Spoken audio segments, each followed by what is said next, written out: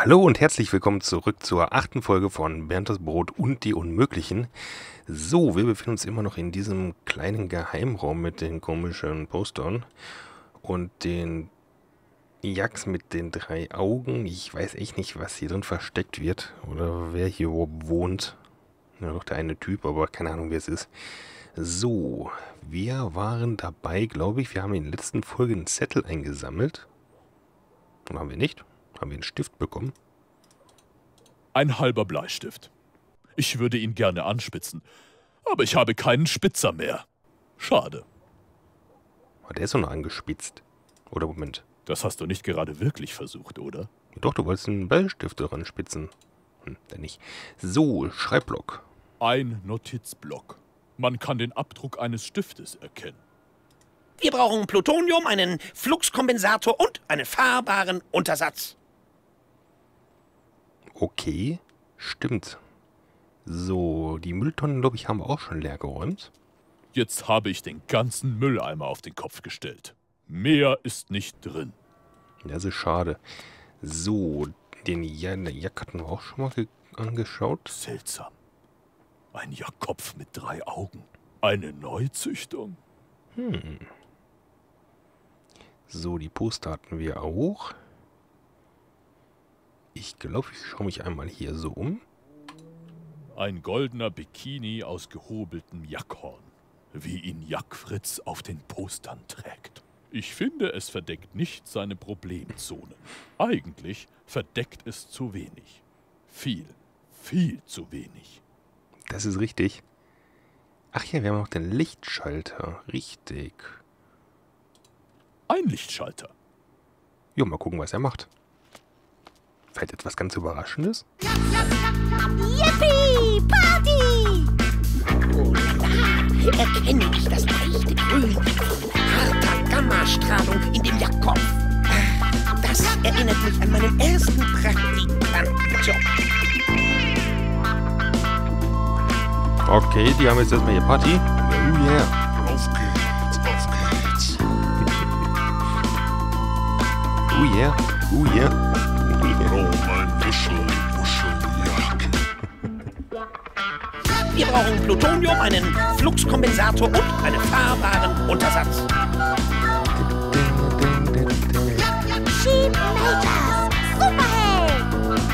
So, ähm, Plutoniumhörner. Ja, was ist das denn für ein Zufall?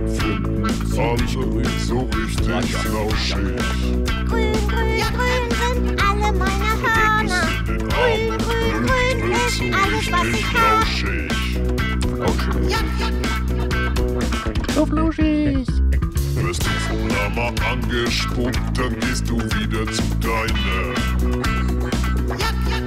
Lecker Joghurt morgens, mittags, abends gibt es nur von deinem Kuschelbuschel. Ähm,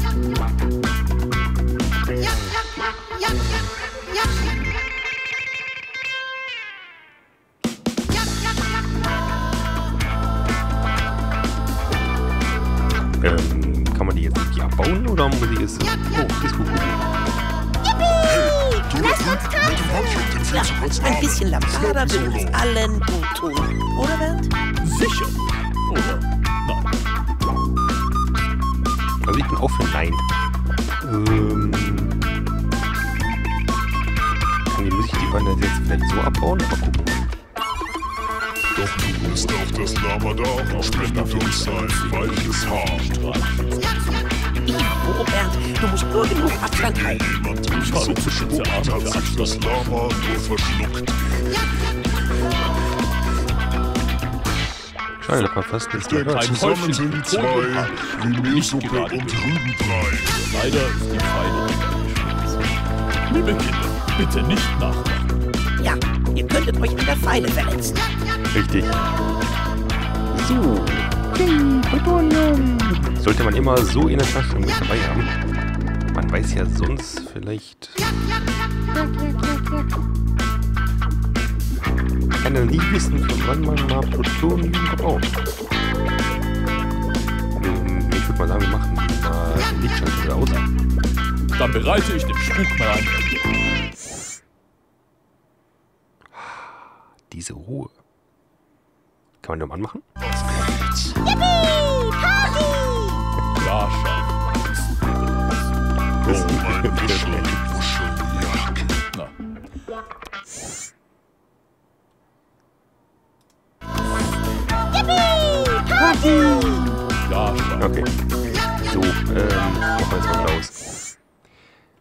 Alles klar. Ähm, wir brauchen einen Fluxkompensator, haben wir da. Wir brauchen Plutonium, haben wir auch da. Können wir schon da reinfühlen? Wäre ein bisschen schwachsinnig, normalerweise. Hallo? Ja, wollte ich gerade sagen. Wir brauchen ein Fahrzeug. Oder? Wenn ich jetzt philosophisch wäre, würde das jetzt länger dauern. Achso, nee, Moment. Wir brauchen Plutonium, einen Fluxkompensator und einen fahrbaren Untersatz. Hm, Moment, da fällt mir doch was ein. Okay, die Tür ist zu wieder. So, wo finde ich denn jetzt einen fahrbaren Untersatz? Hm, wo könnte ein fahrbarer Untersatz sein? Hm, oh. Ähm, ich leih mir den mal aus, ne? Ah, ein fahrbarer Untersatz, wie der Busch ihn brauchen könnte. Hey, das ist mein Motorroller. Ich glaube nicht, dass ich mit dem Motorroller auf 88 Meilen pro Stunde komme. Hey, Freund mit komischer Verkleidung. Ich hätte gerne meinen Ring zurück. Hey, Bewohner von Langolien, der eine seltsame Affinität zu Nutztieren hat. Ah, Er möchte einen Ring haben. Nur gut. Hier, lieber Langole, damit du deine Hochzeit feiern kannst. Oh, vielen Dank. Ähm, krieg ich dafür jetzt den Roller vielleicht? So als Dankeschön? Hey, Hey, das ist mein Motorroller. Könnte ich mir die ausleihen? Na klar, ich brauche sie ja jetzt nicht mehr. Sobald ich erstmal verheiratet bin, darf ich sowieso nicht mehr damit fahren. Schnief. Na dann, viel Glück mit deinem Jack. Und danke. Jetzt hat er sich eine Roller in, den, in die Hosentasche gesteckt. Okay, ja, ist vernünftig. So, ich glaube, wir gehen mal zurück nach zum Briegel. Briegel.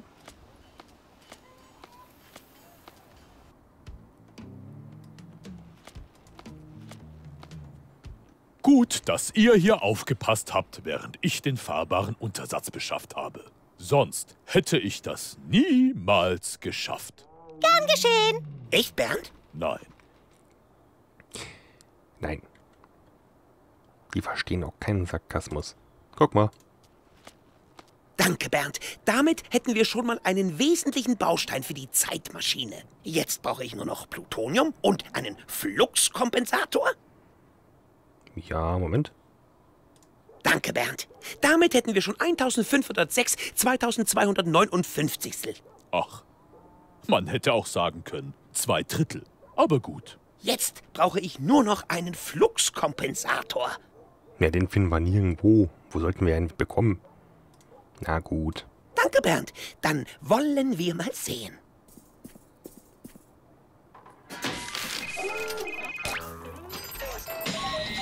Mach nicht kaputt. Der erste plutoniumbetriebene, fluxkompensierte Zeitreisenroller. Oh, cool. Darf ich fahren? Nein, Chili. Du würdest sonst nur wieder an der grün leuchtenden Plutoniumbatterie zu. Hm, grün. Darf ich dran lutschen? Ich glaube, ich fahr dann mal. Ich könnte mal das Licht anmachen, dann könntest du an die Hörner lutschen.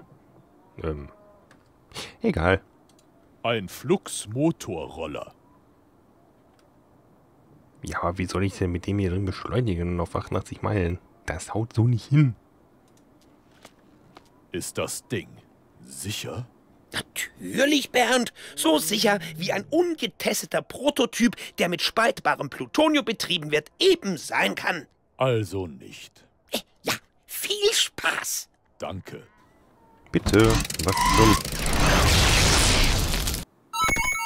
Ah, das passiert, wenn man in einem Computerspiel in der Zeit zurückreist. Es wird pixelig und der Sound wird piepsig. Oh Mist, ich muss mich verstecken. Ähm, ähm, Ein Handtuch aus ungekämmter Jackwolle. Riecht schon im trockenen Zustand übel. Irks. ja, versteck die doch mal darunter. Hinter diesem Stinkhandtuch soll ich mich verstecken? Also gut. Der Roller fällt auch nicht auf. Okay, das nennst du also Verstecken, lieber Spieler. Oh Gott. Zum Glück ist er verpixelt. Oh Gott. Jetzt bin ich froh, dass das Bild so pixelig ist. Genau mein Reden. Mist, ich kann nichts hören. Blöderweise war die Sprachausgabe in der Vergangenheit unverständlich. Ich meinte, ich verstehe ja auch vieles nicht. Aber mit verstehen meinte ich jetzt was Akustisches, also was mit Hören zu tun hat.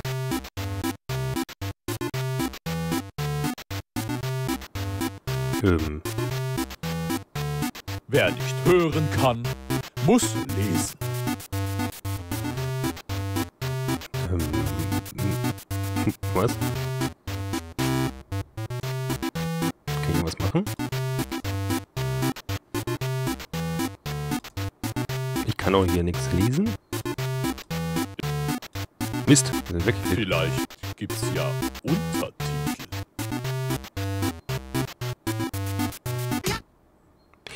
Ich bin mal kurz ins Menü gegangen. Moment. Ich bin gespannt, was wir in Erfahrung bringen. Ernsthaft? Kommt. Ich könnte einen E... Eine Palette Jacki-Joghurt an einen Typen namens Eisenweiser Willi. Und wohin soll ich diese Rechnung schicken? Lima Shop in der Vul... Was? Pulverieren? Was? Okay, der geht Jacks melken.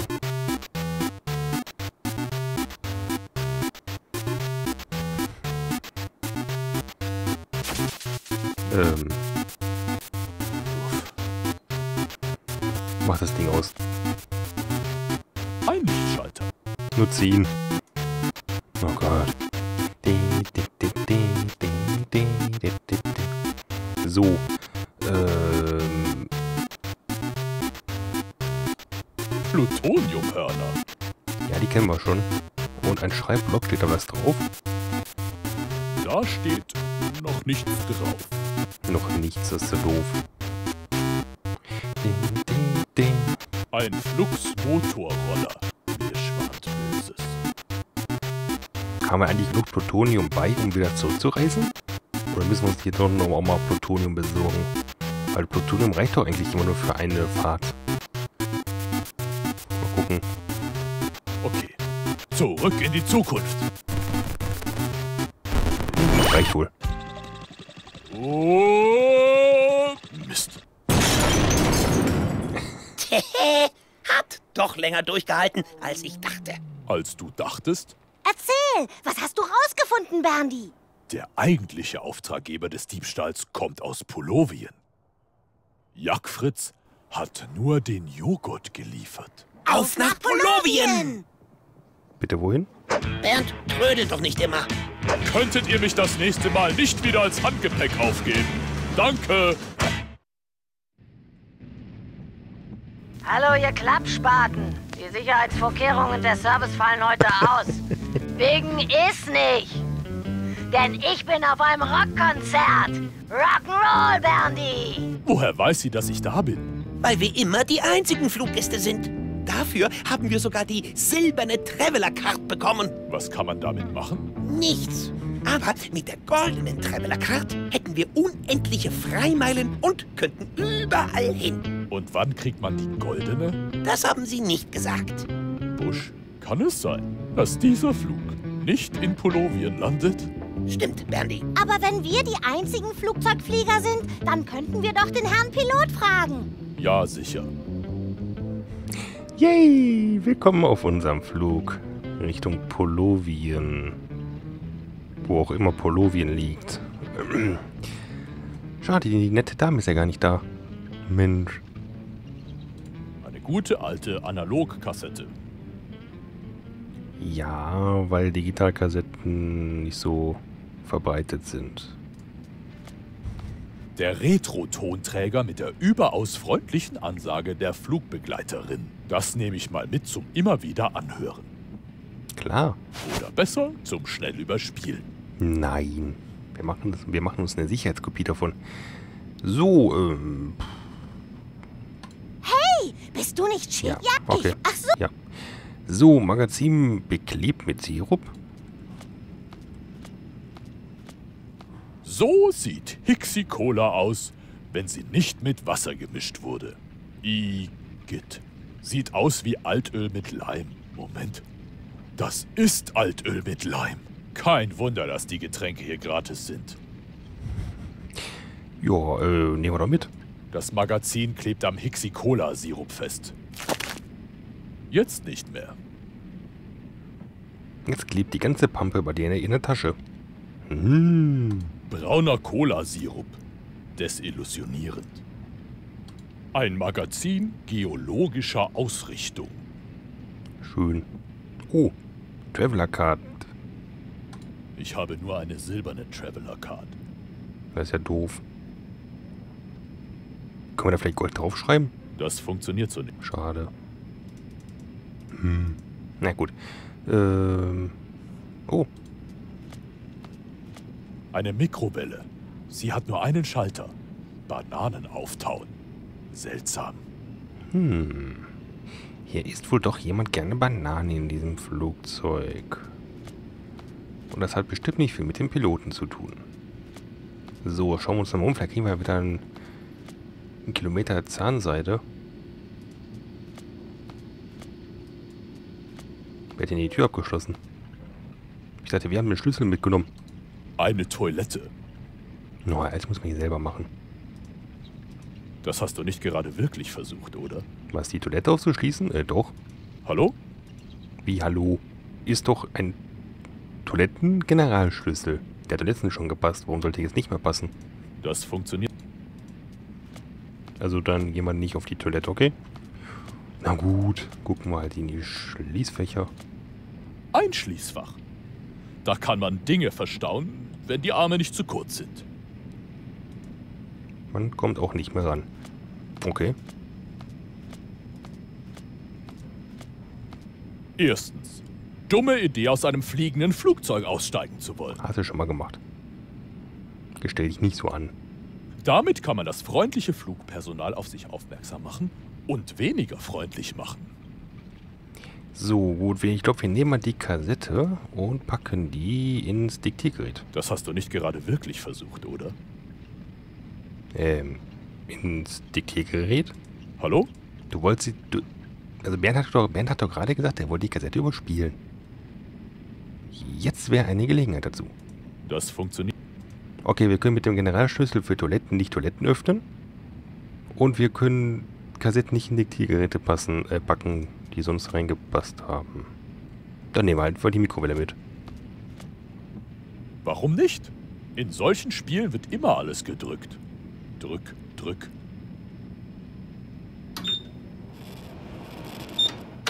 Oh, eine aufgetaute Banane. Wie toll. Hm. Oh, eine aufgetaute Banane. Wie toll. Mhm. Und Igitt, ich hasse Bananen. Wie bitte? Ist doch lecker. Bananen sind supi. Eine Banane. Etwas krumm, etwas braun, etwas Banane. Und etwas lecker. So, ähm. Oh, Cockpit-Tür. Gibt es hier eigentlich einen Piloten? Ja, heute liegt am Ofen. Vielleicht klebt der Pilot da hier draußen am Flugzeug dran. Liegt hier eine Schraube? Oh Mann, ey. Abgeschlossen. Komisch, dass der Pilot während des Fluges keine unangemeldete Gesellschaft haben mag. Ja, komisch. Klopf doch mal an. Oh. Ja. Ähm, ja, anklopfen. Klopf, klopf. Herr Pilot, könnten Sie vielleicht in Polovien landen? Ein Affe? Tja, deshalb sind die Preise unschlagbar. Die haben nämlich die Piloten durch rasierte Affen mit Pilotenbrille ersetzt. Aha, süß. Ja, und dumm nur, dass ich kein Äffisch spreche. Mit einem Schallwellenkonservierer, einem passenden Tonträger, dem Primatensprachcode und Permanentverbindung in Streifenform könnte ich was regeln. Ähm, ich glaube, so schlecht fliegen die Affen jetzt aber auch nicht, weil wir sind ja wieder im gleichen Flugzeug und wir sind ja auch in dem wieder eingestiegen. Bedeutet, wir, das Flugzeug muss ja irgendwo gelandet haben. Und ich glaube ja nicht, dass es 24-7 durchfliegt. Das muss ja auch irgendwann mal tanken. Also bis jetzt, auch wenn es ein bisschen kaputt aussieht, aber da können die Affen ja wohl auch nicht viel für. Da sind ja hier die... Das Personal ist also ein bisschen schuld. Welches Personal eigentlich? Egal. So, ähm, was brauchen wir jetzt? Ich spreche leider kein Effisch. Äh, schade. Banane? Das hast du nicht gerade wirklich versucht, oder? Nein. Darf ich vielleicht jetzt die Kassette ins Diktiergerät quetschen? Hallo? Spieler? Jemand zu Hause? Das kann. Äh. Riegel. Gerne Kassette. Danke, Bernd. Dann wollen wir mal sehen. So, jetzt fehlt mir nur Ja? noch ein Schallwellenkonservierer. Der Sprachcode der Affen. Eine Permanentverbindung in Streifenform. Eine Permanentverbindung in Streifenform? Was? Äh, Ein Schallwellenkonservierer. So, jetzt fehlt mir nur noch der Sprachcode der Affen. Eine Permanentverbindung in Streifenform. Sprachcode der Affen.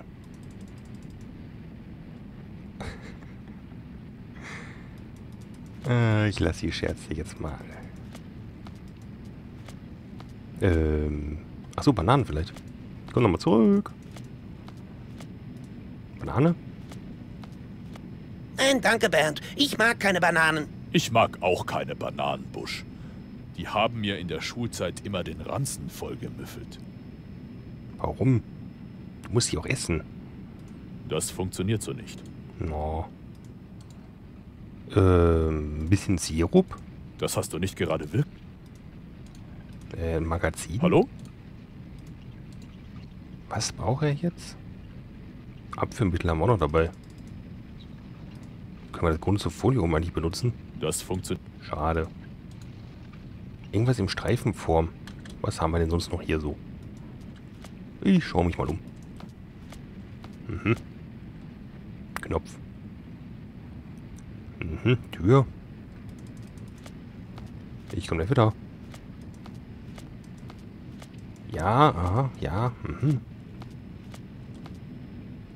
Eine Tür, die wir nicht benutzen dürfen. Eine Toilette. Kennen wir schon. Möchte ich gerne öffnen. Das hast du nicht gerade. Okay, darf ich nicht. Dann müsste ich ja theore theoretisch alles bei haben, oder nicht? Ich gebe ihm einfach mal alles. Eine Schaufel. Hallo? Äh, Klebeband? Permanentverbindung in Streifenform. Wo wären Techniker heute ohne sie? Vielleicht beim Lernen? Wie man etwas repariert, ohne es einfach nur mit Klebeband festzupappen? So, jetzt fehlt mir nur noch der Sprachcode der Affen. Ja, ist doch super. Klebeband. Jetzt hast du ein Klebeband nicht genommen? Ich dachte, du brauchst ein Klebeband. Das geht so nicht. Wieso nicht? Du willst du nicht? Äh, Sprachcode der Affen. Liegt hier doch irgendwo eine Bedienungsanleitung rum? Von Microsoft. ähm, weiß ich nicht. Ein Stift. Das funktioniert. Ein Stift willst du nicht. Äh, meine Traveler Card in Silber. Das hast du nicht. Sprachcode der Affen. Hallo? Hallo. Ähm, ja, Abführmittel. Das funktioniert. Toilettenschlüssel. Das hast du. Die leere Dose. Hallo? Ein Autogramm. Das Sprachcode der Affen.